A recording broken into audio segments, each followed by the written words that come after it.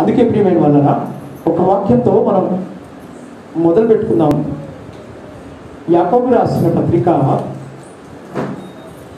ఒకటవ అధ్యాయం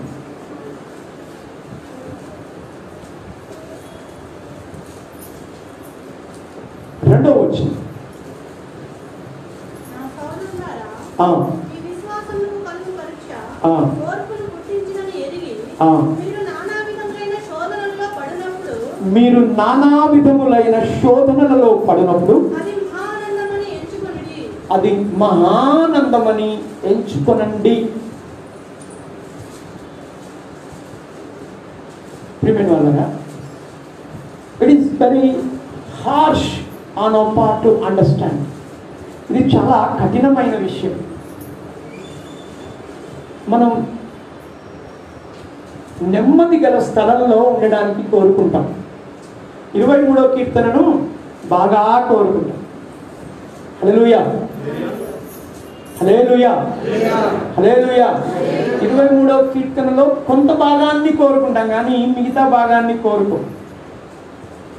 పచ్చిక గల చోట్లలో ఆయన నన్ను పరుండ చేసెను అనే మాట చెప్పగానే మళ్ళీ ఎక్కడ స్టార్ట్ అవుతుంది జీవితం? ఘడాంధకారపు లోయలో. నేను సంచరించినను అపాయము. హల్లెలూయా. గాఢాంధకారం. అంధకారం వేరు గాఢాంధకారం. అంటే కటిక చీకటి. కెనత్ హ్యాగన్ అనే గొప్ప దైవజనుడు? ఆయనకు వచ్చిన దర్శనాన్ని రాస్తూ ఆయన గుండెలో ఒక పెద్ద రంధ్రం ఉండడం వల్ల బ్లడ్ క్యాన్సర్ లాంటి గొప్ప రోగం చేత ఆయన పీడిపబడి చేత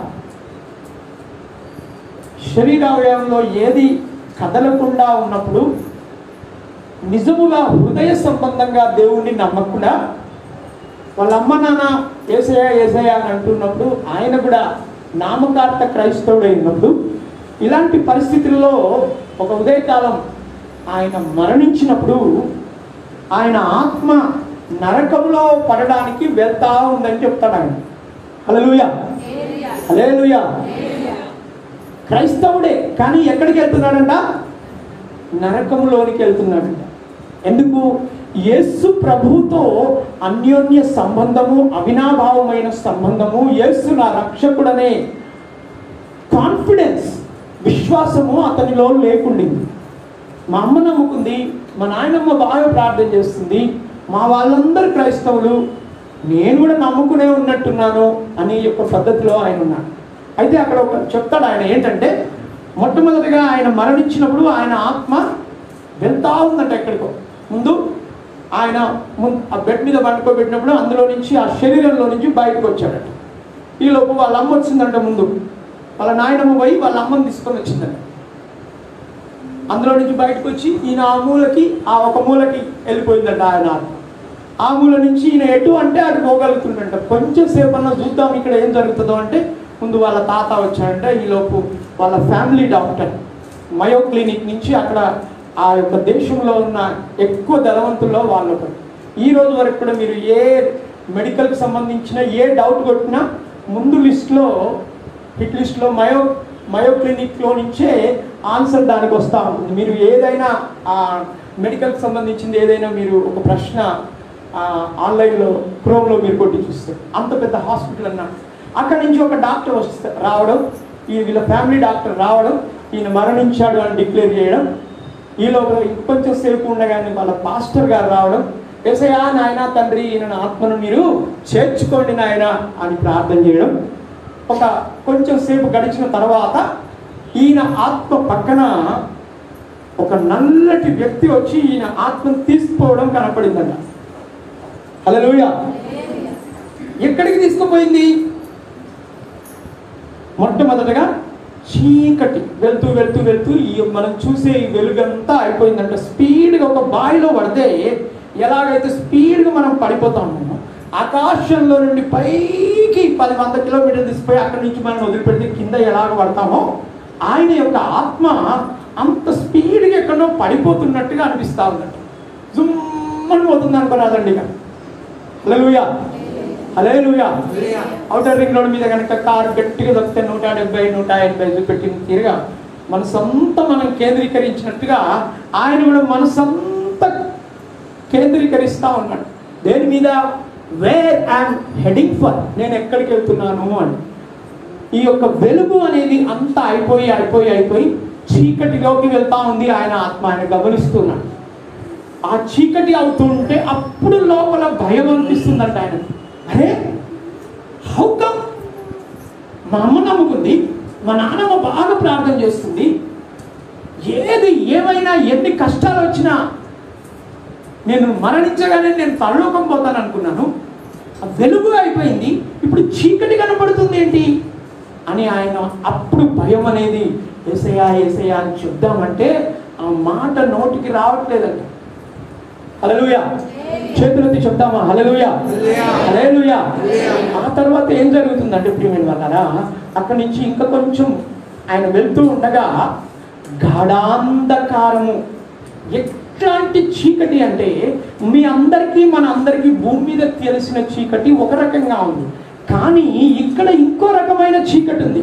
ఆ చీకటి ఎట్లా ఉందంటే ఆయన వివరిస్తాడు. మీరు చూసినట్లయితే అదే బుక్లో ఐ బిలీవ్ ఇన్ విజన్స్ అనే ఆయన యొక్క బుక్లో ఒక పెరుగుంది అనుకోండి గడ్డ పెరుగుంది అనుకోండి ఇదే మాట చెప్తాడు ఆయన. దాన్ని ఒక చాకుతోని కరెక్ట్గా మీరు కట్ చేసి తీస్తే అది చేతిలో పట్టుకుంటే ఎంత ఆ ఇంకా గట్టిగానే ఉండి అలాగే ఏ విధంగా ఉంటుందో కట్ అవుతుంది ఈజీగా. కానీ అంత గట్టిగా ఎలాగో ఉండిపోతుందో ఆ చీకటిని కత్తితోని కట్ చేస్తే ముక్కలు ముక్కలుగా తీసి పెట్టినా అలాగే నిలిచి ఉంటుందా? అన్నంత కఠినాతి కఠినమైన చీకటిగా దాన్ని ఆయన వర్ణిస్తాడు. ఈ లోపల ఆ చీకటి కూడా అయిపో వస్తూ మళ్ళీ కొంచెం వెలుగులా కనపడుతుంది కానీ ఆ వెలుగు వేరొక రకం వెలుగు. చెవులకి శబ్దాలు వినబడుతున్నాయి ఏం శబ్దాలు అవి? నరకములో నుండి వచ్చే శబ్దాలు. అనేకుల యొక్క మహారోధనల శబ్దాలు. మహా ఏడ్పుల శబ్దాలు. పళ్ళు కొరుకుతూ ఉన్న శబ్దాలు. మంటలకి తాళలేక మనుషులు పెడుతున్న ఆక్రందనను ఆ యొక్క స్మెల్. హలలుయ ఏంటది? వాసన. ఏంటది? ఆ వాసన రావడం మొదలుపెట్టిందంట ఆయనకి.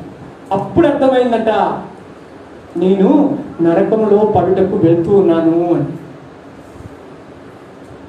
ఈ బుక్ చదివినప్పుడు అమ్మో మా అమ్మ చిన్నప్పుడే నమ్ముకుంది మా నాకు కూడా అలాగే అనిపించింది. మా నాన్న నమ్ముకున్నాడు. మా వాళ్ళందరూ కొంచెం కొంచెంగా నమ్ముకున్నారు. ఏ వ్యక్తి పరిస్థితి అయినా నమ్ముకున్నాము అనే ఆశ మీద కొనసాగగలడం సరి అయినదేనా?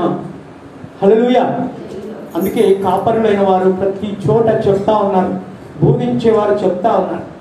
యేసు ప్రభుతో అవినాభావ సంబంధం. అప్పుడు అనయ్య ఏమైంది? కెనత్యాగం గురించి ఎక్కువ ముందు మీ సంగతి తర్వాత వాక్యం తగ్గ తర్వాత కానీ మీరు అనుకున్నట్లయితే నేను మీకు ఇదివరకే ఒకటి రెండు సార్లు ఏమైనా చెప్పి ఉంటాను ఈ మాట. ఏం జరిగింది అని అంటే ఒక్కసారే ఇంకా అంత దూరంగా ఆ మహా మంటలు ఆ అగ్ని జ్వాలలు ఆ వేడి ఎక్కడో ఉండగానే కొండలంత దూరంలో ఆ యొక్క నరకం కనపడుతూ ఉండగానే ఆ యొక్క వేడి ఈయనను మలమల మాంచేస్తున్నంత భయంకరంగా ఒంట్లో ఆ నొప్పి తెలుస్తూ ఉందంట ఆత్మకి. ఇంకా ఎక్కడో నరకం ఉన్నప్పటికీ వాసన భరించలేకుండా ఉందంట. అప్పుడు ఒక బంగారు గాయపడిన ఒక రంధ్రం ఇంత పెద్ద రంధ్రం ఉన్న ఒక హస్తం బంగారపు హస్తము ఒక్కసారి ఆయనకి ఇట్లా ఆయన ఆత్మ పోతూ ఉంటే ఆ శరీరానికి లేకుండానే ఆత్మలో ఇట్లా పెట్టగానే అడ్డంగా ఉండగానే అట్లా దాన్ని తగులుకొని ఆగిపోయాడంట ఆయన అటువైపు చూస్తే కనబడతా ఉందంట ఇంకా. ఒక్క క్షణం ఈ ఎవరో నీళ్ళల్లో మనం కొట్టుకుపోతుంటే ఏదైనా పెద్ద కర్ర చెట్టు అడ్డం వచ్చి ఆగిపోయిన రీతిగా కొట్టుకుపోతూనే ఉందంట లాగబడుతూనే ఉందంట. కానీ ఈయన మాత్రం ఆ బంగారపు వర్ణపు చెయ్యి మధ్యలో ఇంత పెద్ద రంధ్రం. దూరం చూస్తే ఆ నరకం.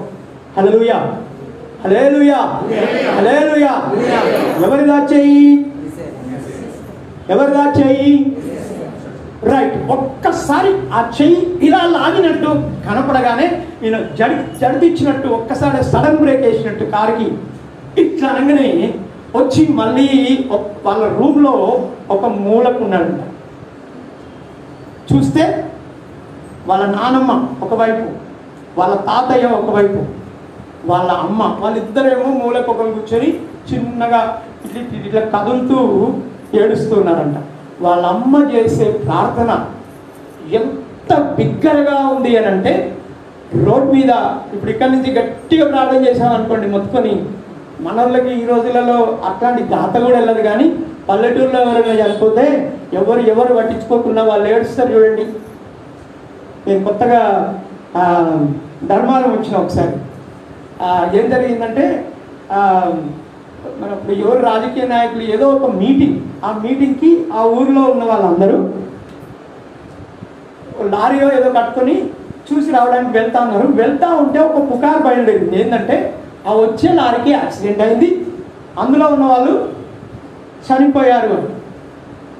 ఈ ఊరు ధర్మారం ఇక చూడండి ఒకరొకరిని మేము చూస్తూ ఉంటే ఒక ఆమె అయితే క్రైస్తవురాలే ఆ దుమ్మంతా తీసి మీద పోసుకుంటాం కానీ ఆ దుమ్మేమన్నదమ్మా పోయిండు అని మొత్తుకుంటా ఉంది కింద బండి బరుతా ఉంది ఊరు ఊరంతా ఒక ఐదారు కుటుంబాలలో గోల గోల పలానా అయినా అవుటట పలానా అవుటట పలానా అందులో మా మామయ్య కూడా పోయిండు. ఈ సార్ గారు అల్లుడు వచ్చిన శుభవేళ అని నాకేమన్నంట కడతారా నాయన? హలో నేను ఏం చూశానంటే భర్త గురించి కానీ కొడుకు గురించి కానీ దగ్గర వారి గురించి కానీ వాళ్ళు చేస్తున్న మా- మా శాంతి కొంచెం ఏడుస్తూనే ఉంది కానీ ఇక మా వదినం ఉండే. ఆ అని పోయి ఉర్రికి పోయి కింద పడుతుంది. నేను చెప్పదలుచుకుంది ఏంటంటే ప్రియమైన వాళ్ళ ఈ యొక్క కెనత్యాగిన్ గారి తల్లి గారు ఆమె ప్రార్థన చేస్తూ ఉంటే గొంతెత్తి ఎసయా నా కొడుకును నువ్వు బ్రతికించాలి. అని చేసే ప్రార్థన వలన ఆ రోడ్డు అవతల పెద్ద ఇల్లు వాళ్ళది. ఆ రోడ్డుకి ఆ రోడ్ మీద ఉన్న అన్ని వెహికల్స్ ఆగిపోయి ఆయన బయటకు వస్తే కనబడుతుందంట బయట కొంచెం ఎత్తులో. ఈ కొసకి కిలోమీటర్ ఆ కొసకి కిలోమీటర్ వరకు వెహికల్స్ అన్ని ట్రాఫిక్ అంతా ఆగిపోయి ట్రాఫిక్ జామ్ అయింది. ఏమో జరుగుతుంది ఇక్కడ ఏం జరుగుతుంది? ఇంత ఏడుపు ఇంత పెడబొబ్బలు ఏం జరుగుతుంది? ఈయన మళ్ళీ ఆ మూలకు వచ్చి ఎవరో పెట్టినట్టుగానే ఆయన శరీరం దగ్గరకు వచ్చి అందులోకి ఒక్కసారి ఇట్లా వెళ్తే ఈ ఈ ఒక చెయ్యి వాళ్ళ అమ్మ ఇట్లా మీద పెట్టి ఆ విధంగా ఏడుస్తూ ఉందంట. ఈయన వేళ్ళు కదిలించి మమ్మీ చప్పులు కొట్టి ప్రభువు మహిమ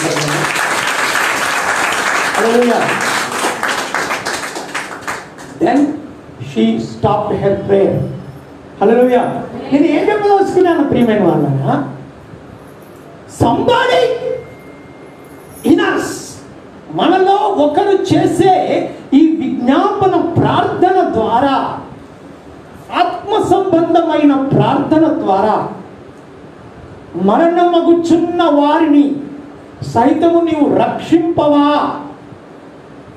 అనే మాటను అనుసరించి మన హృదయం అంతటితో మన బలమంతటితో మన మనస్సు అంతటితో ఆ యొక్క నరక యాతన వంటి పరిశుద్ధమైన నిష్కలంకమైన హృదయపూర్వకమైన ఆసక్తితో చేసే ఒకరి యొక్క ప్రార్థన పరలోకంలో ఉన్న యేసయ్య యొక్క హస్తము కదిలించి తప్పక దాని యొక్క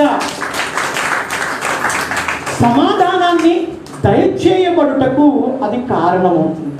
ఆ తర్వాత తర్వాత ఆయన బ్రతకడం వేలాది మందిని రక్షింపబడడం మూడు వేల బైబిల్ కాలేజీలు ఆయన చనిపోయిన పదిహేను సంవత్సరాలు ఇరవై సంవత్సరాల తర్వాత కూడా నడపబడుతున్నాయి. నేనేం చెప్తున్నా? బైబిల్ కాలేజీలే. ఒక్కొక్క దాంట్లో రెండు వందల మంది మూడు వందల మంది పాస్టర్లే చదువుతున్నారు. అలాంటియే వేలు ప్రియమైన వల్ల వేలాదిగా ఆయన పరిచర్య ఆ విధంగా అభివృద్ధి చెందింది. ఎందుకు చెప్తున్నాను నేను ఇదంటే ఎక్కడైతే కష్టం ఉందో గాఢాంధకారము ఉందో అందులోనే మహా సంతోషము దాచిపెట్టబడుతూ పెడుతూ ఉంటుందని నేను జ్ఞాపకం చేస్తున్నా. ఈ కోవిడ్ లేకపోతే ఇంకో రకమైన కష్టం ఇంకో రకమైన బాధ ఇంకో రకమైన మహా కష్టం ఎప్పుడు లేదు. ఈ ఈ సంవత్సరం స్టార్ట్ అయిన దగ్గర నుంచి మా కుటుంబంగాను లేకపోతే సహవాసంగాను సమాజంగాను అనేక కష్టములా అని అనిపించింది నాకు. యాభై సంవత్సరాలు నాతో ఉన్న మా అమ్మ మమ్మల్ని వదిలిపెట్టి వెళ్ళిపోయింది అనేది ఒక ఏమాత్రం అరిగించుకోలేని సత్యం. అయితే ఇలా ఆలోచించుకున్నప్పుడల్లా ఈ వాక్య భాగం గుర్తొచ్చినప్పుడు అంతకంటే మహాశోభస్కరమైన అత్యున్నతమైన సంతోషంతో మహా ఆనందంతో ఆయన యేసు ప్రభు యొక్క పాదాల యొక్క పరలోకంలో ఉండడం నేను కన్నులారా చూశాను. చెప్పన శక్యము కానటువంటి మహామహిమాన్వితమైన సంతోషంలో హల్లెలూయా. ఆమెను బట్టి చూస్తే అది మహా సంతోషమే. అందుకే భూమి మీద కూడా మనకి ఏం చెప్తున్నాడంటే ప్రభు యేసు ప్రభు యొక్క తమ్ముని ద్వారా చెప్తున్నాడు. మహా కష్టం వచ్చినప్పుడు మహా బాధలో నీవు ఉన్నప్పుడు ఈ బైబిల్ అనే ఒక స్విచ్ ఇక్కడ ఏముంది? స్విచ్ బోర్డ్ ఉంది. ఒక స్విచ్ వేయగానే ఫ్యాన్ ఆఫ్ అవుతుంది ఒక స్విచ్ వేయగానే లైట్ ఆన్ అవుతుంది. మనం ఏ విధంగా కావాలనుకుంటే ఈ స్విచ్ వేయడమే మన చేతిలో. మొత్తం ఈ రూమ్ని చీకటిగా చేయొచ్చు ఈ రూమ్ని వెలుగుగా చేయొచ్చు అది మన చేతిలోనే ఉంది. హల్లెలూయా.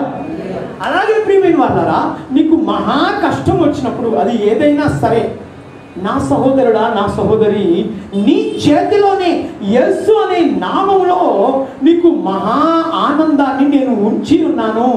అది నీవు నీకు నీవుగా సృష్టించగలుగుతావు అనేది ప్రభు యొక్క వాక్య భాగం. చప్పట్లు కొట్టి ప్రభుని నమస్కారం